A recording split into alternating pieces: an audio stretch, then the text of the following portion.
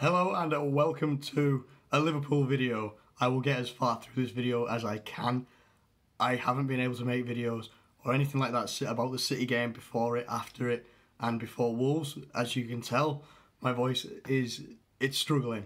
I was actually without my voice for two days, um, yesterday and the day before. It's been it's a struggle. Um, I've never lost my voice before, so I'm very wary of losing it again.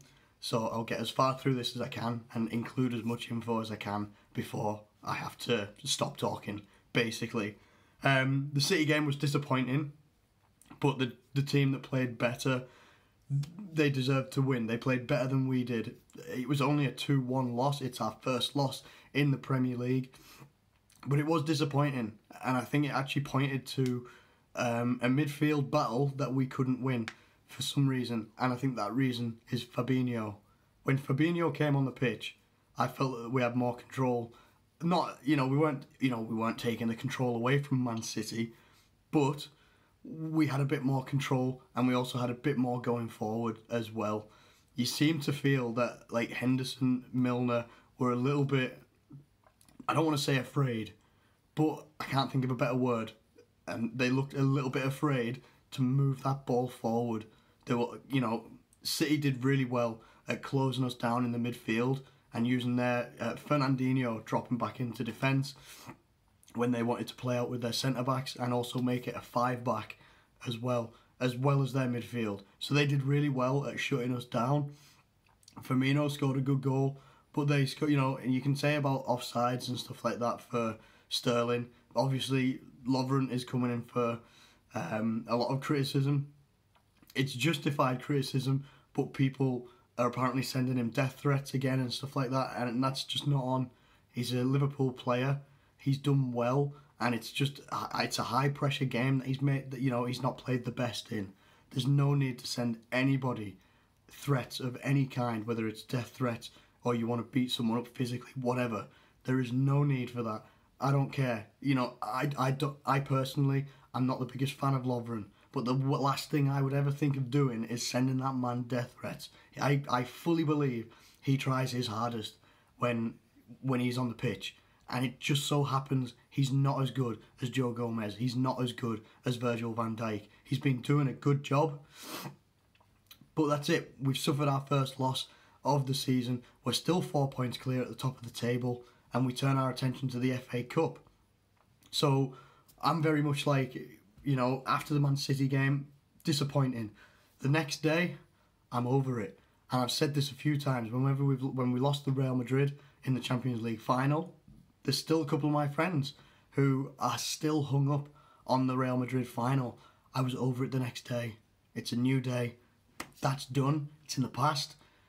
Got to move on. That is exactly how it is, and that's how I am. You have to move on. Move on from the Man City game. You take the positives, you take the negatives, and you work it into the next game. Just so happens that the next game is against Wolves. I believe, I think it's Sunday. I'm recording this on Saturday um, as best as I can. Sorry about the quality of this, but yeah. Um, we played Wolves in the league, and I imagine it's going to be a little bit of a different game. I think Wolves are going to want this game more than we will, and that will sound strange because we are obviously we're well in the running for the Premier League. We're still in the Champions League as well, and people will be looking at this game as like Liverpool need to win a trophy, need to guarantee a trophy at the end of the season, and the FA Cup could be the way to do it. I am of the un- unpopular opinion of I would rather we got knocked out of every cup competition and then went and won the Premier League or gave it the best chance that we had that's that is my honest opinion, and I don't care. I don't care what other people think. I would obviously love us to go to a Champions League final again. I'd, it'd be cool to win the FA Cup. It really would. It'd be a it's a good trophy to win, but we are in the best position in a long time in terms of the team, in terms of performances in the Premier League. We are doing the best that we can and the best that I've seen us do in a long, long time. We are in pole position in the Premier League right now. We've got some good fixtures coming up as well in the Premier League. I would rather us go full bore into the Premier League and make the biggest run that we can over winning the FA Cup. I really do. You know, uh, the FA Cup is a good trophy, but I think it's more of a priority for teams that are fifth and below in our league. That's just my opinion on it, and I know that a lot of people will disagree with that. But I don't. It's I look at I, I don't look at the FA Cup like yes, can't wait for the FA Cup. I look at the FA Cup like you're disturbing my Premier League, you're disturbing our Premier League fixtures. That is how I look at it. I, re- I really do, and I know we we've got no divine right to go and win the Premier League or anything like that, but we put ourselves in the best position possible so far, and I think that that's what, what our priority should be. And I imagine our team selection will probably show that. Now I've been a bit surprised recently about not necessarily surprised about Dominic Solanke leaving, but I was surprised they actually sold him. Um, I thought that they would let him um, maybe go on loan or something like that and then bring him back. They've they've fully sold him, 19 million, which is a ridiculous fee considering I think we bought him for three, um, and he scored one senior goal. I like the lad. He just was in a he was in a team a little bit similar to Chelsea where he was going to struggle to get game time and time to improve. And then I was again shocked. I'm glad it's a loan, but I was again shocked that Nathaniel Clyne has been let go to Bournemouth as well, following Dominic Solanke over there. Um, I, I am surprised because I felt that it's going to leave us short at right back. Now I know that there's this um, this young lad called Hoever, a Dutch right back who's like 16, 17, something like that, that could get a chance, but it leaves us with the one recognised uh, right back in Trent Alexander-Arnold. Joe Gomez isn't back yet, and it, I just don't want it to backfire on us. I felt that Clyne put in a very good performance against United. I thought we were going to see more of him. I really did, but we go into the Wolves game, and I think that we could see some changes. I imagine I don't know if we'll go like you know wholesale changes because it's the FA Cup. And what I mean by that, do we start with Mignolet in goal? I don't know. I'm going to play devil's advocate and say that we're going to do wholesale changes where we can, and whether that means we get some academy guys coming up from centre back, I don't know. I could see it though. Totally could see it. Um, I don't know if you'll see Van Dijk playing. Maybe he'll get a rest. I, again, I don't know. It's it's going to be one or the other. We're going to go for this with a few changes, or we're going to go into this game with a lot of changes, and it's really difficult to predict what is going to happen. I think left back we'll probably see Alberto Moreno um, come into that come into the left back position. Centre back Lovren, and then maybe a youth player at centre back. And I, honest to God, can't remember anyone's name. I think like Masterson is one, but I don't know if we still have him. Um, right back, you could see Hoever come in, but it, it would then also then hit like border on a bit. Are we just going to play a youth team? You know, and it's like, do you do we end up disrespecting Wolves in that respect as well? I could be completely wrong. When we could go for Van Dijk, Lovren, and everybody like that, but I'm just trying to think of things off the top of my head. Uh, midfield, I think we could see some changes. I think you might even see like Adam Lallana, Naby Keita, um, maybe Shaqiri in that midfield, and I wouldn't be too opposed to that. To be honest, I want to see uh, Naby Keita get more game time. Um, I think he needs more game time. A lot of people are starting to doubt the signing of Naby Keita. I think he's just taking a bit longer to settle in than say Fabinho has. I think that Naby Keita obviously not done well with the injury. That's not you know he's had a, he had quite a long a, a lengthy injury near the start of the season.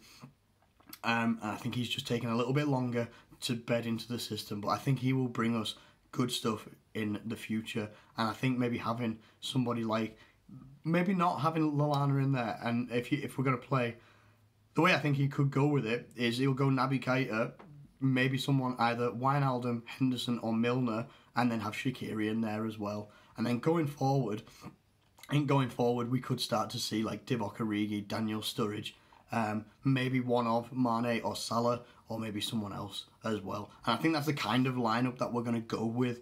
I think that's that is something that is going to happen. I think we're going to have a bit of a change lineup for the FA Cup, and then after that, I think I can't. I think if we got Brighton or, or someone in the league, so we can afford to make these changes now and rotate a little bit more while we can. And obviously, Champions League's not back till February, so we've just got to take advantage of what we can do now with the squad rotate it. His rotation's done really well. You know, we won all eight games in December and we just slipped up against Man City.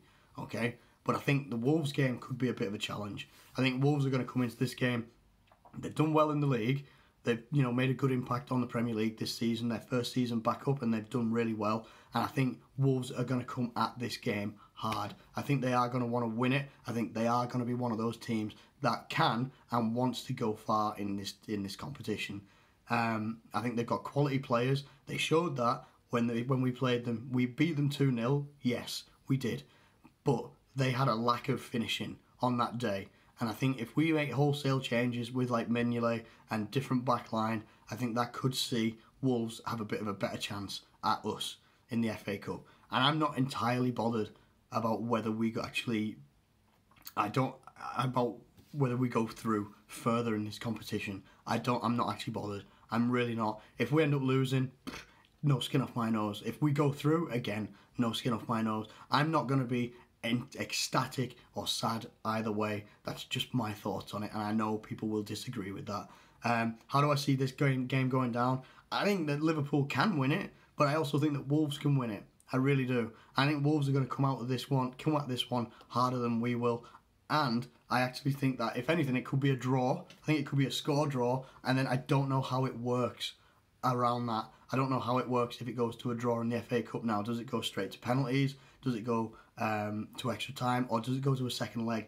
I honestly don't know how it works, but I see the game finishing as a draw. And then whatever happens after that, if it's penalties, could be Liverpool, could be Wolves.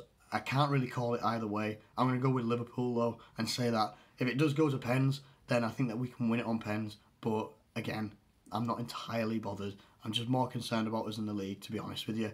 So, if you've made it through this video so far, thanks so much. I'm going to stop the video in a couple of seconds, like about, you know, half a minute or something, because I can't actually continue talking any longer. But thank you so much for the uh, for watching and continuing to watch these videos this season. I will, if we, if I can, I will try and do a reaction video, but I'm saving my voice as much as possible. This is the most I've spoken in about four days, um, and I just really wanted to get something out for it anyway. But thank you so much for watching this video. Please do like and subscribe if you're new around here. Thank you once again, and I will catch you later.